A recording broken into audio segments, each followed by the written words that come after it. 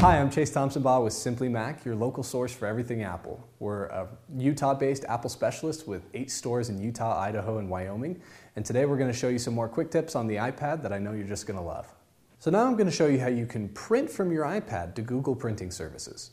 So the iPad is a great productivity tool. So for instance, I can come here to Pages and I can create really awesome documents. And there are several other applications out there to create really rich, vivid content.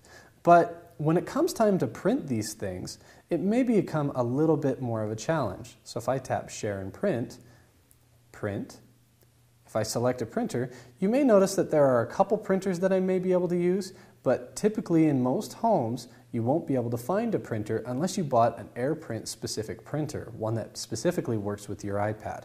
So that's not all that uh, appealing for a lot of people. So there is actually an application out there called Print Central Pro. Print Central prints to pretty much any printer out there. So if you are in Print Central and you open up a document, tap on the print icon, and it will actually show you all of your available printers. No special setup needed. Now what we can do as well is we can set up a service called Google Print. If you're not familiar with Google Print, basically what it does is it's a cloud service. It makes your printer available on the cloud.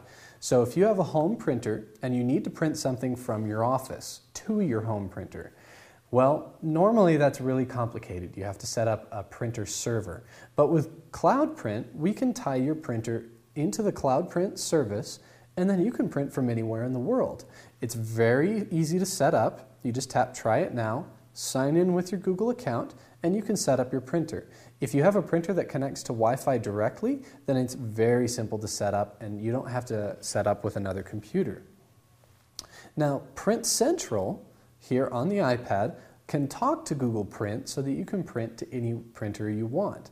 So if we tap this, you'll notice that Google Cloud Printing is not an option here. So what I want to do is tap this plus. It may be a little bit difficult to see, but tap plus, and then we have some services here. You'll notice Google Cloud is one of those services.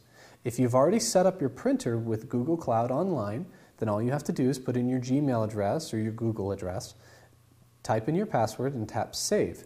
Then when we came back, the printer that we want would be listed right there, and you can print any document to any place. Again, I'm Chase Thompson Baugh with Simply Mac, and I've shown you how you can use your iPad to print to Google Cloud services.